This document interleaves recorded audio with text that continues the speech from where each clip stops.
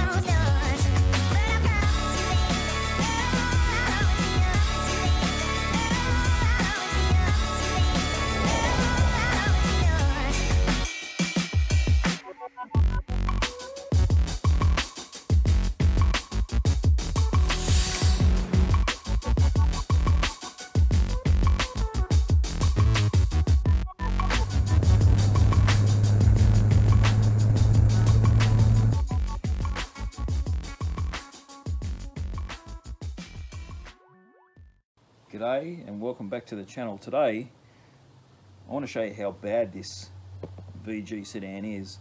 You all know why I bought it as a donor car and sadly once I'm done stripping it out it's pretty much only good for yard art or the tip. In reality a little quarter panel here and there that's no big deal. Any old car oh man what is that? Any old car is going to have quarter panel damage. Oh, there's a screwdriver. Hmm. Um, no big deal. And isolated bits of rust here and there.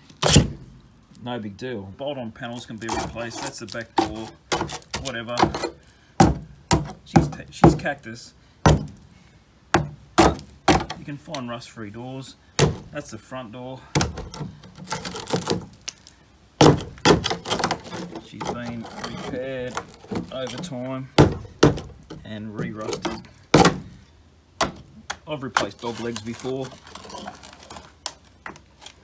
Isolated issues, no big deal. This one's pretty rusty, but that kind of stuff's repairable but let me open this door up and we'll show you what's really going on with this car.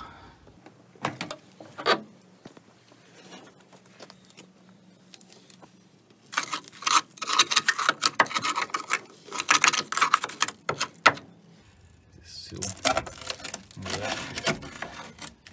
I had to seal some of this chrome. Oh my goodness. Oh, mate, that's paper thing in there. Look at that just no strength at all. And as we go up to the roof, check it out. So you know where I'm looking at. C-pillar. There's nothing there, it's just gone. Back window,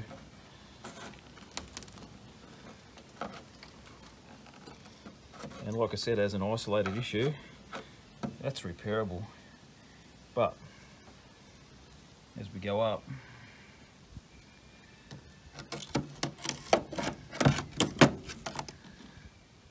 This is the clincher along here. I was having a play before. Yeah there's a couple of holes. Watch this.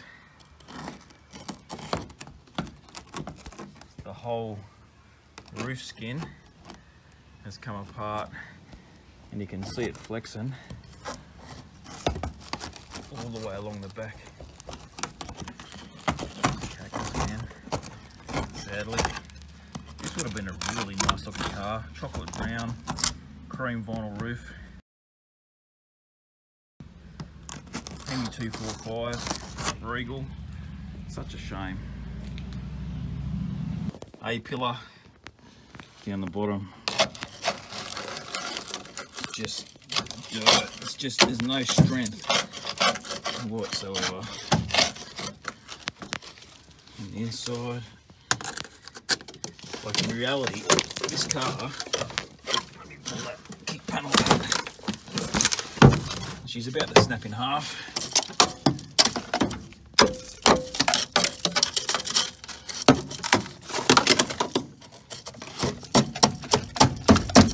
The funny thing is, the floor, the floor's solid all the way through front and back. It's normally the floors that go maybe some sills, quarter panels, but this thing, because we worked out from the previous video, she came from the coast, the salt lands on the car, in the air, it rains, goes down all the nooks and crannies and just rots them away. I was really hoping these guards were good. This one's rotten at the back. Um, but um, if worse comes to worse, I can cut this piece off and replace it. I just don't want to have to sacrifice a good guard to do it. So she's rotten. I need some VG front guards. So if anyone has decent guards, please hit me up at a reasonable cost. Um, this one's repairable with a donor guard or a bit of clever fabrication, but yeah. Have this guard, it's got a good woof in it right there, but that's repairable. Doesn't appear to be any major rust in there. I'm not sure about under this trim there. I don't know if I want to try and break that off. I'll probably undo that probably. Look at that, it's just gone straight in. Screwdriver straight in the sill. There's no strength at all. That's on the driver's side. Front windscreen. Play here before. You can see the wiring for the uh, interior light. Driver's side dog leg. You can go through. It's all the way through there. The rust down in there is just really, really bad.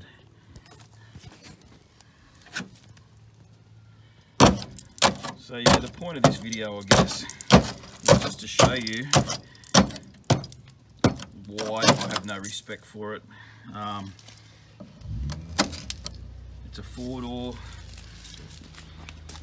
Yeah, it's a VG, but it's so far gone. Just not worth the effort to try and save it. But what are they? Body plates or seatbelt mount plates. Other side of the roof. It's just cactus. Look at that just coming apart. The back of the roof is just not connected to the body anymore. Even the poor old mirror copped it. Look at that. So the positives I've got a really good grill. I've got reasonable bumpers. All my bonnet mechanism bonnet's.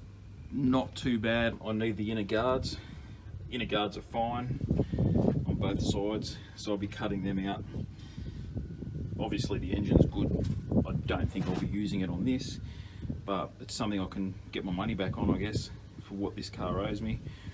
Got disc brake front end all the booster and stuff so everything will come out of it. On the inside heaps of salvage. Dash steering wheel steering column it's even got the glove box inside, although it has been mucked around with, we have a glove box. All the heater stuff, the complete wiring harness. I will probably cut the floor out, the whole floor. I'm going to take the seats out, save those, front and rear. Ears in the driver's side, and just a pillar, just cactus into the plenum there, look. And then as you go down that's just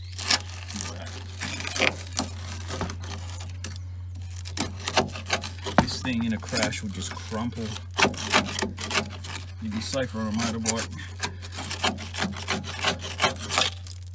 And in the boot you know what all the locks work.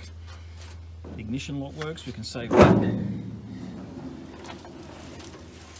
as we saw in the last video the boot floor itself is in excellent condition.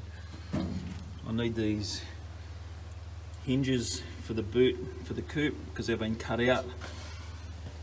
So that's all in good condition to save that. and the fuel system. The fuel tank underneath looks in good condition, so we're not going to know until we get that apart. But there's so much to salvage. So yeah, I just wanted to show you how bad it was. So you had some reference to what I'm doing with it and why I'm doing it. All the bits I need for the uh, hard top is in fairly reasonable condition apart from this guard. She's cactus. Um, might be able to save it, but like I said, if you've got one, hit me up. Yeah, she's in a sad state of affairs. So I'm not going to do a video of this getting pulled apart. I'm just going to hook in, get the job done. And the next time we meet, we'll hopefully be doing some work on the hard top because I'm busting out the chops to get into that. I still haven't decided 100% what I'm doing mechanically in that regard. Um, it's a 318 option or a Barra. We'll see how we go. I haven't decided. But that's it from me. Stay tuned. Be good to your mates. Like, subscribe, all that stuff. And I will see you on the next one. Cheers.